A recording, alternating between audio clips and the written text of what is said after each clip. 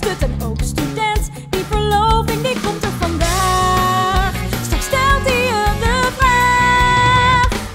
Hoi Els, had je veel geluk? Stuk voor stuk een stuk. Laat die ring zien zo snel als je kan.